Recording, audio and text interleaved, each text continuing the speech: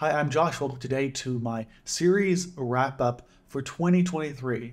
This video is basically me talking about the series that I finished, the series that I'm DNFing, and the series that are ongoing in the huge list of series that I'm forever reading. This was going to be a wrap up and TBR for 2024, but I realized there were a lot of books that I want to talk about for 2024 and also a lot that I want to say about that which I've already read. So it seemed to make sense just to split it up. But without further ado, let's talk about the series that I've read in 2023.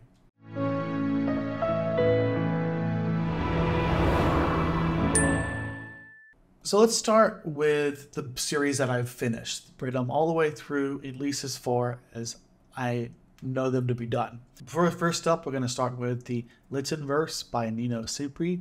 And this is the Finna duology, where you basically have this world where these workers work in a capitalistic IKEA of sorts that is a multiversal hotspot that pull people to different universes. In the first book, that's the premise. In the second one, it takes an equally absurd or out there sci-fi idea and uses it to dissect this capitalist hellhole that is this job and is our society. The second one in the series does a different direction. Like it still focuses on the store, but instead of being a multiverse, it focuses, I think, on items that come from different universes rather than going to those universes.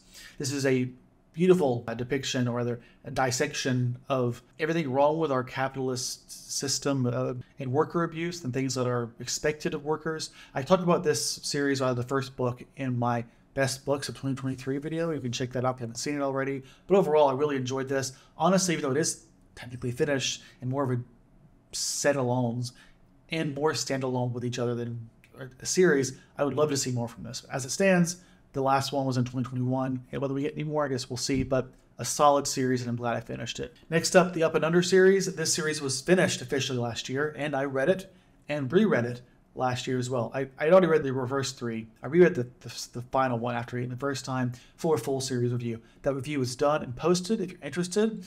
I'll just say overall, it is underwhelming. If you're a fan of Middlegame, read the first book. If you're feeling it, keep going. If not, honestly, you'll find just the first one. The first one really embodies the best that the series has to offer. It's not that the series is useless, it's just, I don't think it did enough to justify its existence. I have a lot more to say about that. Again, check out the review if you want to hear all those thoughts. Then after that, we have the African Immortals, which I probably have the most to say that I've yet to say on my channel. This is the basically vampire series by Tananarive Due. I started this back in 2020, I think. I believe because there was like a book club going on. They had read the series or reading the series. That did not keep going for whatever reason. But I did end up finishing the series. I think I ended up reading a book a year for a while there. I took a bit of a pause because, if, in all honesty, while I like this series, it's not what I would traditionally want from a vampire even horror book. It feels more urban fantasy, but at the same time, it is Tananarive Due. It explores very real and deep uh, conversations about race, power dynamics, and a lot of other issues that exist in our society. It is also heavily influenced by Christian mythology. And as someone who is not Christian, in fact, an ex Christian, it, it's always hard to read it. But what I will say is that I actually came to the advantages of the series where, despite being a series where its characters' identity are heavily influenced by their Christianity, I think the series surprised me in the direction it ultimately went went and the way in which it was able to challenge our expectations in that sense while also challenging the challenge this idea of what is truly right what is wrong and while as a reader who doesn't want to read christian fiction i think it does enough to use that world use these characters who are who are still real people because these people exist. There are Christians though. I'm not stupid. I know you all probably watching right now. It's not that I don't want that exposed in fiction. I just think there's a fine line between showing a character's life and their Christian identity versus becoming a form of proselytization. Basically, you know, selling selling to me. And that's really what I don't want. That's where I was getting iffy here. In the end, the series was satisfying and was not a shallow series. It never reached peak for me. I'd probably give the series a solid three and a half. I think the main reason I really pushed through it was because I loved Tananarive Due, and despite not loving the story on a fundamental level or not getting truly excited about it, it still made me think about these ideas, these themes in a very good way, in a way that made the series very much worth reading.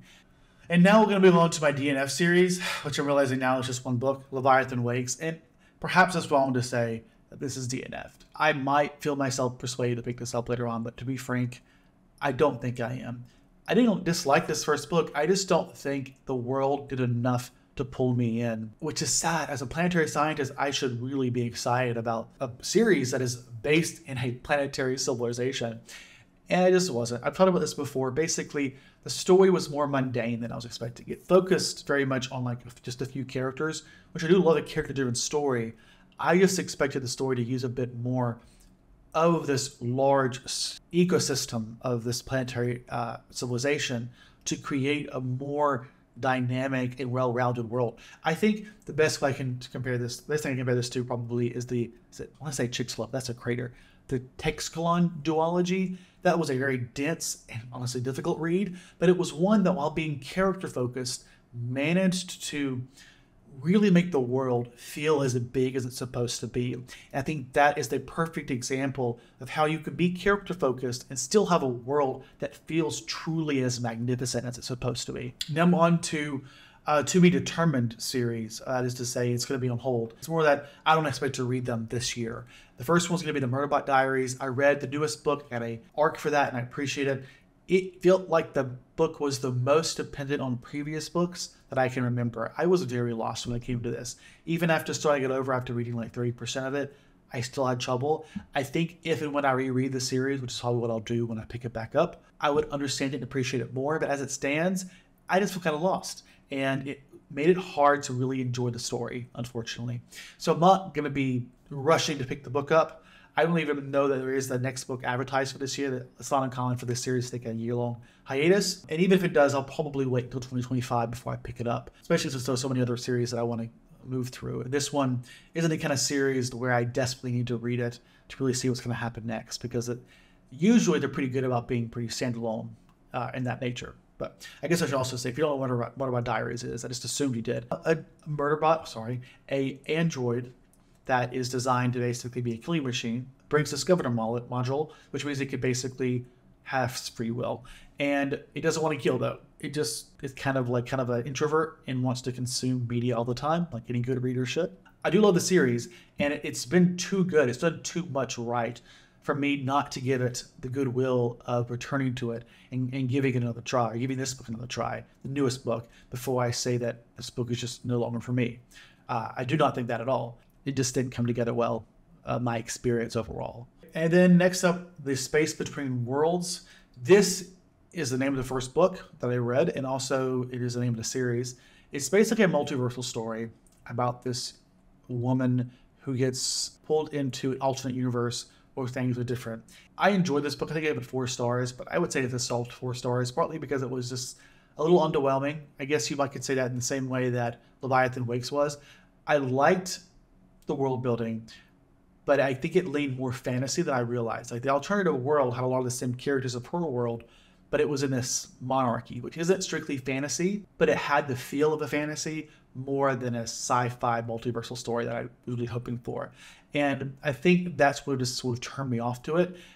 Still plan on continuing it. I think though I want to wait until I hear reviews of the second book to make sure it, it, at least stands up on its own. I don't want something that is a that is less than. I need to be as good as or better than the first book for me to really continue. So that's why this one's going to be uh, to be determined series. After that, we have one more, the Lady Astronaut series. I reread this whole series in 2023, partly because I was having a slump and I just wanted something uplifting. I love this series. Mary Robinette Kowal was is one of my favorite authors of all time. And I just adore her writing. I adore this world building. We have an alternate history dystopia where basically Washington was destroyed in the 1950s and it led to a huge space race early on. It, it seems to be, honestly, I think about it, akin to it the First Man, whatever it is on on Apple TV. But um, I haven't actually watched that one though. I've heard great things. Still, a series that I love. And the only reason I'm not continuing it because well, one, I just rewatched it, uh, so reread it, and also the, the newest book, which was supposed to come out last year, based solely on like a, calendar a listing on her Mary, Mary Robinette Kowal's own personal website like a few years ago. Uh, and there's still no advertisement for 2024. This should be the last book in the series. I think it's called The Martian Contingency. And I will read it when it comes out, but I don't think it is going to come out. So this one is a series that I loved. I read it this year, but it's, like I said, it's on hold for now. Finally, ongoing series, series that I've read and will be continuing into 2024, or have been continuing. First up, let's say Wayward Children. Always Wayward Children. I love Wayward Children. A world where you have magical doors, kind of like Narnia, except this focuses more on how those worlds fit into the fundamental identity of the person and exploring their own personal identity in a very deep and reflective way, while also dealing with the hurt, the true hurt that comes from losing that part of you when you get trapped away from your world. And this beautiful series. For 2024, I'm doing a reread of the whole series. I got lucky and I got the audio arc right at the end of the year, and it's now January 5th, and I, I read the first, the last, the most recent book before the year was out. So technically, I'm not reading any new books for this in 2024. I plan on having a comprehensive discussion of the entire series. Next up, Stormlight Archive, and I am so excited. Less about the book series itself than I am about the fact that I'm excited. That I'm excited. I'm excited that I'm excited about this series. That's just because I had such a hard time getting into the first book because it was just a little too much. It was so long and so dense, and it, it wasn't the kind of long and dense that I find or found very engaging and enjoyable.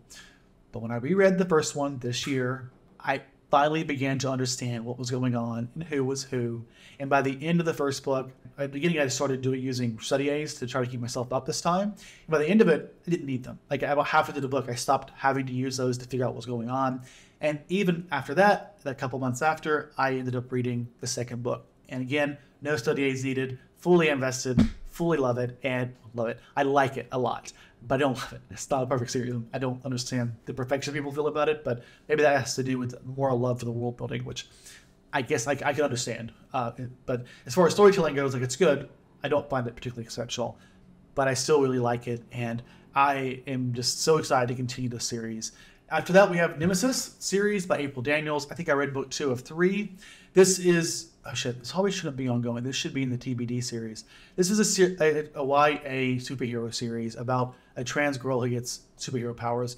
I really liked it, even like well, because I don't mind superhero content. Honestly, I do enjoy it, and I really particularly liked it from the perspective it gives us from this trans woman, this trans girl rather, and her identity both as a trans superhero, but just as a, as a trans girl trying to get by, and how that fits into this identity. Such a unique perspective that I don't think has been given an opportunity to be told. And that's why I think it really stands out. I really do enjoy this.